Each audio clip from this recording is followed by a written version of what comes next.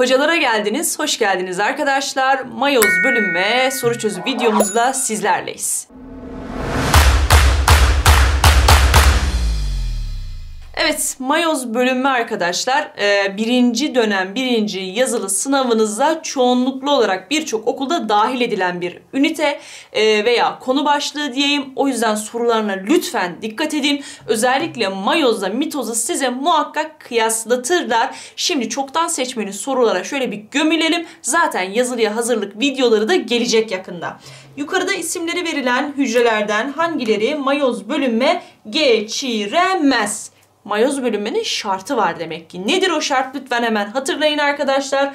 Bir hücrenin mayoz bölünme geçirebilmesi için kromozom sayısının kesinlikle 2N olması gerekiyordu. Peki eşey hücreleri kaç kromozomlu arkadaşlar? 2N kromozomlu değil mi? Peki eşey hücreleri mayoz bölünme geçirir mi? Hayır. Eşey hücreleri derken buradaki eşey hücreleri benim kastettiğim eşey hücresi değil pardon. Eşey hücreleri burada N kromozomlu sperm ve N kromozomlu yumurta hücresi. O zaman bunlar mayoz bölünme geçiremez. Peki eşey ana hücresi derse arkadaşlar işte burada dikkat edelim. Benim yaptığım hatayı lütfen yapma. 2N kromozomludur eşey ana hücreleri. Şöyle düşün. Analar hep senden daha fazla kromozom yapısına sahip. 2N onlar. Ana olan onlar çünkü. Onlar 2N eşey hücreleri ise N kromozomlu. Vücut hücrelerimiz de 2N kromozomlu ama mayoz geçirmesine gerek var mı? Hayır çünkü zaten benim vücut hücrem tutup da gamet üretmiyor. Eşey ana hücrelerim gamet ürettiğinden dolayı gençler geçireni değil geçiremezi sordu bana. 1 ve 3 mayoz bölünme geçiremez. Yandaki şekilde bir eşey ana hücresinin mayoz bölünmesinin metafaz bir safhası gösterilmiştir. Bak şimdi buraya 1, 2, 3, 4, 5, 6. Bu hücre 2N eşittir 6 kromozomlu bir hücre. Özellikle görsel sorulardan oluşan bir soru çekimi videosu olacak bu. O yüzden lütfen görsellere dikkat çünkü en çok zaten burada zorlanıyorsun. Metafaz evresinde homolog kromozomlar çift sıra halinde dizildi ya aynı hücrenin anafaz 2 safhası diyor. Bak şimdi beni bir takip et lütfen. Şimdi birazdan bu hücre metafaz 1'den sonra anafaz 1'i gerçekleştirmeyecek mi?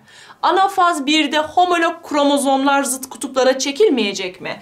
Yani benim kromozomlarım şu şekilde ayrılıp bir kutba 3, diğer kutba 3 olmak üzere bir ayrım yapmayacak mı? Evet. Sonra böldük hücreyi. Hücreyi böldük ya. Bir hücrede şu an kaç kromozom var?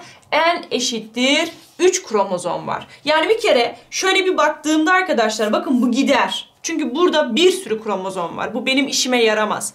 Peki geleceğim ya anafaz 2'ye. Öncesinde ne yapmam lazım? Metafaz 2. Metafaz 2'de kardeş kromatitli kromozomlar hücrenin ekvator bölgesine inci gibi dizilecekler. Ama tek tek dizilecekler.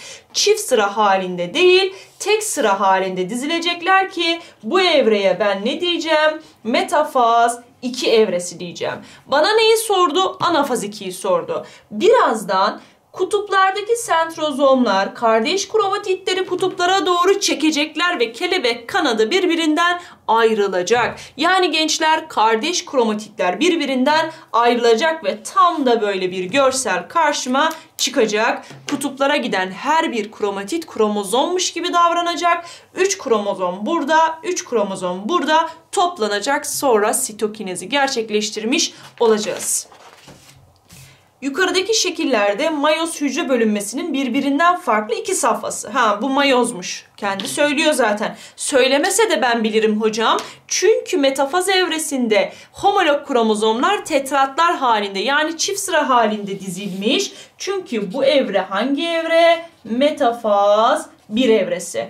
Peki bu evre hangi evre? Bu evrede anafaz 2 evresi. Birinde mantığı verdim, görseli sordum. Diğerinde görseli verdim, isimlendirmeyi aldım. O zaman metafaz 1'e, anafaz 2 mi? Evet, cevap A şıkkı oldu. Yukarıda Venn diyagramı ile gösterilen 1, 2 ve 3 için Verilenlerden hangisi doğrudur arkadaşlar? Süper bir yazılı sorusu bu. Harika bir yazılı sorusu. Mayoz bölünme ile mitoz bölünmenin ayırt edici özellikleri ve ortak özellikleri sadece diploid hücrelerde gerçekleşir. Yani sadece iki an kromozomlu hücrelerde gerçekleşiyorsa bu hangi bölünme tipidir arkadaşlar? Bu mayoz bölünmedir. Şöyle yapayım mı? Bu mayoz bölünmedir. Kalıtsal çeşitliliği sağlıyorsa mayoz bölünmedir. Replikasyon görülür. Yani DNA kendi kendini eşler. Bu hem mitozda hem de mayozda ortak olarak gözlenebilir. Hücre sayısını iki katına çıkartır diyor. Hücre sayısı iki katına çıktıysa mitoz bölünmedir. Mayozun birinde de bu olur ama şu an bana mayozun tamamını sormuş. Mayoz da 4 katına çıkıyordu. Vücut hücrelerinde görülür demiş arkadaşlar. Vücut hücrelerinde de görülüyorsa nedir bu? Mitozdur. Yani bir de E ve D'nin olması lazım. 2'de C'nin olması lazım. 3'te ise A ve B'nin olması lazım. Cevabım Denizli olmuş oldu. Yukarıdaki şekilde 2 n eşittir 46 olan bir hücrenin mayoz bölünmesi özetlenmiştir. Şekilde 1, 2 ve 3 ile gösterilen hücrelerin kromatit sayıları kaçtır? Bir de interfazın gerçekleştiği düşünülecektir diye de bir not yazmışım. Şurada interfaz var. Yani interfaz olmuş. Yani DNA kendi kendini eşlemiş arkadaşlar. Şimdi bakın kromatit sayısı ile kromozom sayısını da birbirine çok fazla karıştırabiliyorsunuz. Bir de DNA miktarı muhabbeti var. Bir tane de öyle soru sordum. Çünkü cidden önemsiyorum bu e, meseleyi. Çünkü arkadaşlar yazılılar yaklaşıyor ve mayoz bölünmede dediğim gibi birinci dönem birinci yazılı sınavına çoğunlukla olarak birçok okulda dahil.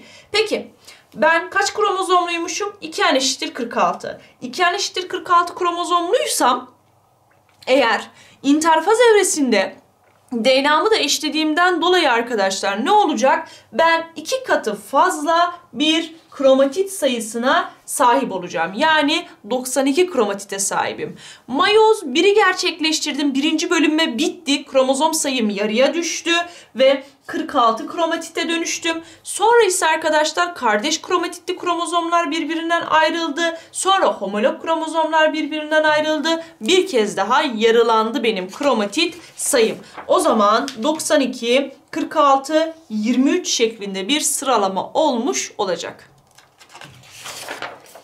kas hücrelerinde 40 kromozom bulunan bir tilki. Kas hücrelerinde 40 kromozom varmış. 2n eşittir 40 dedim. Türünün erkek birey oluşturması için bir türün, tilki türünün erkek birey oluşturması için erkek ve dişi gametlerin kromozom formülü aşağıdakilerden hangisinde doğru olarak verilmiştir? Bir kere e, erkek bir birey oluşturmak istiyorsun ya, erkek birey oluşturmak istiyorsan hani insan gibi düşün X ve Y'nin bir araya gelmesi lazım. Mesela Y Y demiş olmaz. X X demiş olmaz. Mesela bu tip sorularda çok çok ileri versiyon bir soru olsaydı parantez içinde de tilkinin erkeğinin gonozomu ne? Dişisinin gonozomu ne yazarlar arkadaşlar. Ama yazmadılarsa insanmış gibi de düşünebilirsiniz. Bu da gitti. Şimdi kaldım mı hocam iki şık arasında? Kaldım. X, Y, X, Y iki tarafta da var. Peki nasıl olacak hocam? Bak şimdi erkek gamet X demiş. Dişi gamet Y demiş. Böyle bir ihtimal var mı? Yok. O zaman cevap Edirne. Bak hiçbir işlem yapmadım ama illaki işlem yapacaksam arkadaşlar. Bakın illaki işlem yapacaksam. Ben 40 kromozomlu muyum? Evet. Peki benim spermim veya yumurtam kaç kromozomludur? En eşittir 20 kromozomludur. En eşittir 20 kromozomdan bir yumurta hücresi ve bir sperm hücresini yazmak istersek detaylı bir şekilde nasıl yazarız? 19 artı x'e 19 artı x yumurta yazarsın. 19 artı x'e 19 artı y sperm yazarsın. İşte bir tane buradan alırsın. Bir tane de buradan alırsın. Al sana bir tane erkek tilki olur. O zaman sperm 19 artı y dişi 19 artı x şeklinde yazılır diye bileceğiz. Sayılar otozomdu. Yanındaki harflere ne diyorduk arkadaşlar? Gonozom diyorduk. Yumurta ana hücresinde x miligram DNA molekülü bulunduran bir canlı türünün yumurta ana hücresi. Yumurta ana hücren senin kaç kromozomlu? 2N. 2N eşittir 46 kromozomlu bir canlı olsun. Tamam mı? ve x miligram DNA miktarın olsun. Bir canlı türünün hücrelerinde DNA miktarı aşağıdakilerden hangisinde doğru olarak verilmiştir? Peki karaciğerin kaç kromozomlu?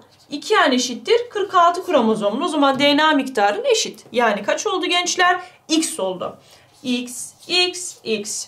Gamet hücresi n eşittir 23 kromozomlu değil mi? Evet. Peki sen n eşittir 23 kromozomu elde edebilmek için mayoz geçirdin mi? Evet. Mayozda e, DNA miktarını yarıya düşürdün mü? Evet. O zaman x bölü 2 olmalı.